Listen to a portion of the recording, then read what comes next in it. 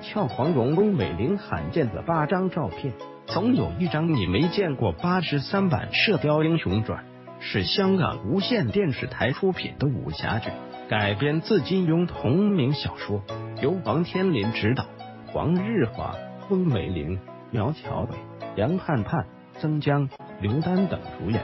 其中，翁美玲饰演的黄蓉成为了难以逾越的经典。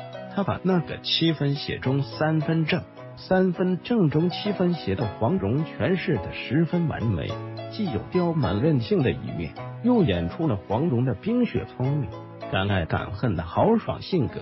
现在来一组俏黄蓉翁美玲罕见的八张照片，总有一张你没见过。